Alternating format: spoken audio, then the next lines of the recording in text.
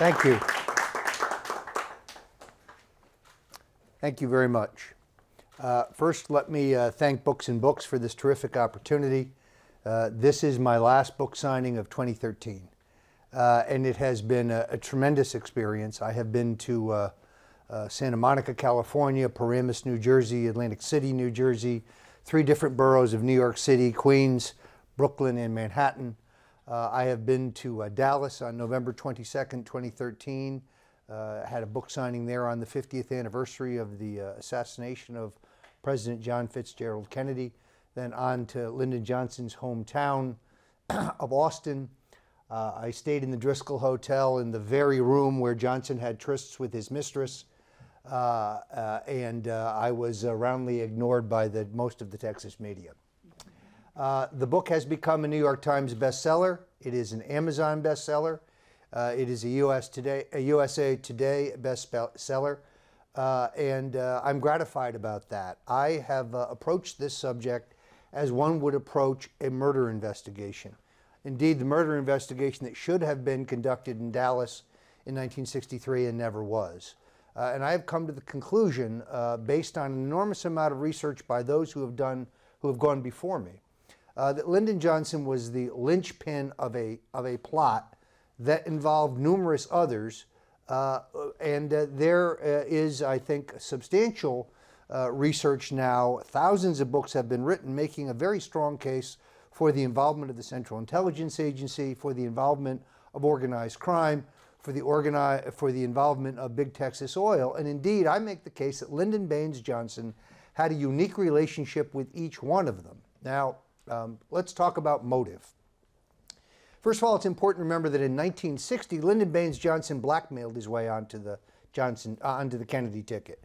In fact, we know that uh, that uh, uh President John F. Kennedy, or in that po- in that point, candidate John F. Kennedy, Senator John F. Kennedy, had selected Senator Stuart Symington of Missouri to be his running mate. Uh, he had asked Symington. Symington had accepted and was writing his acceptance speech. Uh, and that night, Lyndon Baines Johnson and uh, House Speaker Sam Rayburn showed up in Jack Kennedy's hotel room in Los Angeles late at night, and they had with them a, a file, a dossier on John Kennedy's sex life. Uh, this had been supplied to them by J. Edgar Hoover. Hoover was a next door neighbor of Lyndon Johnson's. He was a close political ally of Lyndon Johnson. Between 1951 and 1961, the FBI budget had tripled due to the good uh, actions of President of Senate Majority Leader Lyndon Johnson. When Lyndon Johnson stole his election in 1948 uh, by a totally disputed and fraudulent 86 votes, J. Edgar Hoover flew down for the victory party at the Driskill Hotel in Austin. So they were very close, and of course Hoover had his own uh, motive. He knew he was facing mandatory retirement. He knew the Kennedys would put him out to pasture in 1964. So uh, his motive was clear. In any event, Johnson's message for Kennedy was you need me, you need Texas, and if you won't put me on the ticket, I'll just take this dossier and I'll give it to Dick Nixon. Now remember, Nixon and Kennedy were locked in a skin tight race for, uh, for president. So Kennedy demurs and he puts Lyndon Johnson on the ticket. The next morning, a reporter, in shock, asks the Senate Majority Leader, How could you give up one of the most powerful jobs in Washington? U.S. Senate Majority Leader to be vice president, a job that has no power at all. And Lyndon Johnson says, You know, I checked, and one in four vice presidents have become president of the United States upon the death of the president. And frankly, I'm a gambling man and I like the odds.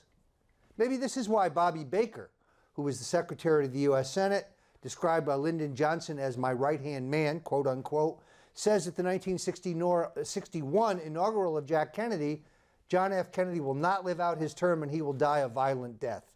This is three years before the assassination. Uh, Johnson is marginalized by the Kennedys. He is uh, cut out of the decision making process. He goes from being one of the most powerful men uh, in Washington to being the least powerful. He is sent out on the road for funerals and, and uh, ceremonial meetings with foreign presidents that have no significance. Um, he is cut out of the loop, as they would say.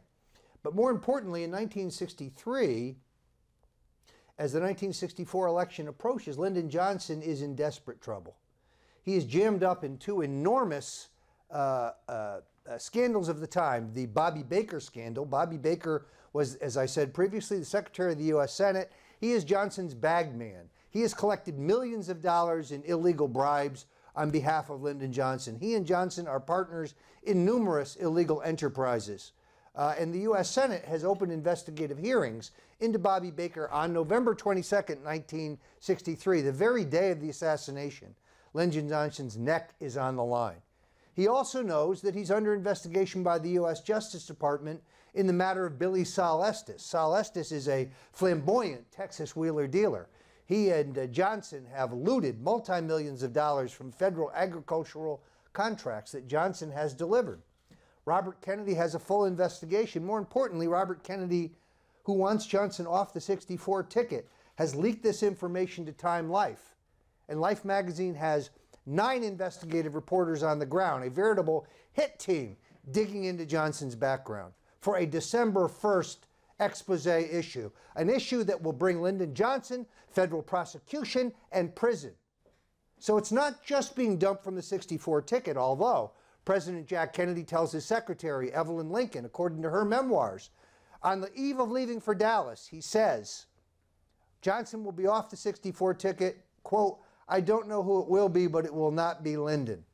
He goes on to say that he is considering North Carolina Governor Terry Sanford, uh, a, a moderate, a racial, a Southern racial moderate. So Johnson is a man staring into the abyss. He can either become President of the United States or he can go to the federal penitentiary. And there, therein lies his motive. Now, finding co plotters is not all that difficult. Lyndon Johnson is the appropriator for the CIA.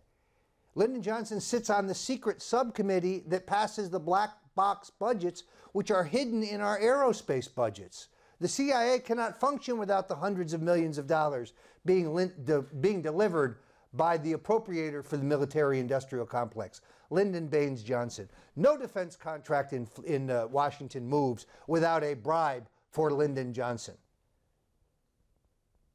So Johnson is, uh, is uh, the godfather of the CIA. He sits on the Senate committee that forms the CIA. When he leaves the Senate to become vice president, he helps install Senator Harry F. Byrd a close Johnson ally in the congressional oversight that oversees the programs of the CIA.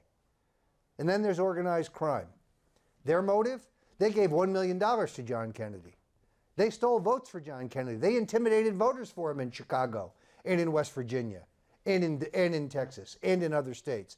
And in return, Ambassador Joseph Kennedy, John Kennedy's father, who was a gangster himself, who was a partner of Frank Costello, the notorious New York mobster, uh, uh, essentially importing scotch by boat into Cape Cod, trucking it down to New York and sell it, which I think is called uh, bootlegging. Uh, he promises the mob boys for a $1 million contribution and a little help on election day that the, uh, the two gangsters, Santo Traficante Jr., who runs the mob right here in Florida, and Carlos Marcello, who runs the mob in Texas and Louisiana, will not be deported. There are slow moving deportation processes that have begun under Eisenhower uh, that, uh, that the mobsters are very concerned about. Well, you know the story. Robert Kennedy becomes the Attorney General. He double crosses the mob. He puts wiretaps on Marcello and Traficante. He harasses them. He actually kidnaps Carlos Ma uh, uh Marcello, the notorious gangster, flies him to Guatemala where he has a phony passport, and dumps him in the jungle wearing nothing but his Brioni uh, suit and his Gucci shoes. Needless to say, Marcello is not happy. Indeed, government wiretaps under, undercovered, uncovered by the House Select Committee on Assassinations pick up both Traficante and Marcello talking about the fact that Kennedy would be killed prior to his murder and taking credit in the case of Santo Traficante after his murder. Lyndon Johnson's relationship with the mob? Why, Carlos Marcello is one of his biggest financial supporters. Lyndon Johnson takes a $55,000 a year bribe from the mob to protect their illegal gambling operations from the U.S. attorneys in Houston and Dallas and San Antonio.